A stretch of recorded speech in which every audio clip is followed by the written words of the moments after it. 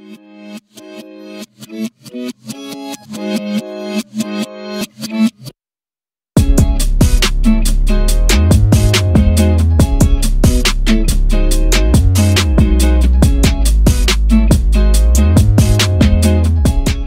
evening, everyone. Buonasera. And welcome to the next tiny Italian cook along. And you're up for a treat tonight, I'll tell you that, because I'm going to share with you how to make my sexy sausage ragu. Now, I'm going to share a little secret. When I'm dating, or if you're dating someone and you really like them, and you think it's time for you to cook them a little meal, ladies and gentlemen, if you like, this recipe is the one. It literally hooks them in, and it, I'm under good authority that it has worked a few times, and I can tell you myself, it really has. So, there you go. Um, we've got the tunes on tonight. I'm actually playing my playlist that I play at all my supper clubs. I can share this with you guys if you fancy it. And of course, you know I don't cook without my lippy, and tonight I've got Lady Danger by Mac. So, before we start cooking, let's go over those ingredients one more time. So tonight I'm using beautiful sausages from Salsicciamo. Um, these are Sicilian, so they've got a bit of fennel in them, which is going to make this dish extra. Mwah. Um, I've got some pancetta or bacon, if you don't have that. Um, I've got some grated parmesan. I'm also using this passata. I got given this to me a few weeks ago. I've been waiting for the right time to use it. Tonight is the night. I'm using passata from La Carmela all the way from Naples. Um, my friend Filippo gave this to me, so very excited to use that tonight. We've also got onion, we've got garlic, we've got a selection of mixed herbs, oregano, basil, rosemary, some spicy chili flakes, um, some red wine, of course, a little bit of cream, but not essential if you don't have it, and of course I'm using the almighty olive oil by Filippo Berio. First, I'm going to finely chop up my garlic and my onion. As it's only me, I'm only I'm doing half my recipe that's on my website, so I'm going to use half an onion and one garlic clove.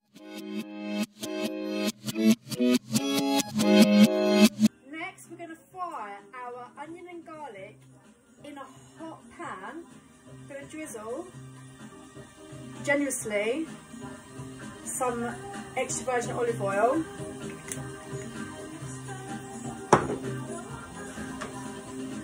then chuck it in and then cook that on a low heat until it has softened.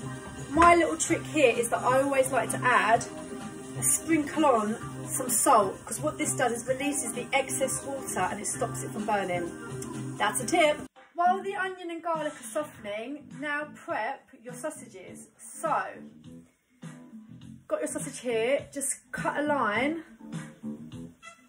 cut a line slice, shall I say, take the skin off, and it should be that easy.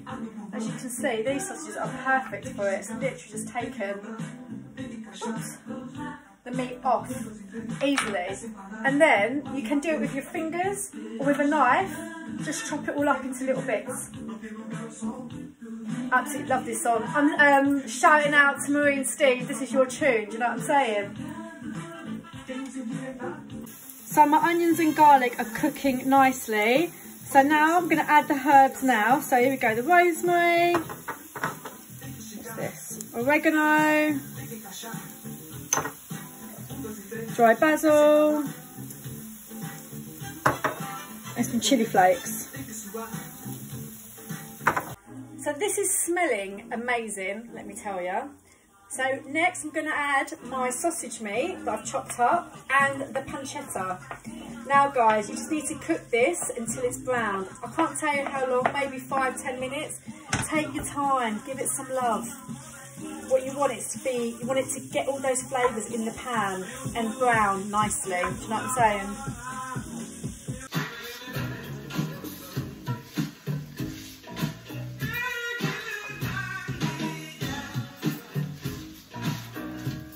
Right, sorry about that. My meat's all lovely and brown, so I'm going to pour in like half a glass of red wine for me, but if you're cooking for more people, obviously a bit more. Up that heat. Let it soak in those flavours and evaporate. So the wine's evaporating now, I'm going to turn it down slightly. I've got a whole jar here of passata, but I'm only going to use half for me. But now pour it in. Oh God, that's so sexy. And now, turn that down. That's it now. You let that cook for about 40, 50 minutes. So on that note, let's mix that in. I'm going to pour myself a glass of wine cheers and see you in about 40, 50 minutes, you know what I mean? Get those cheese pumping, guys.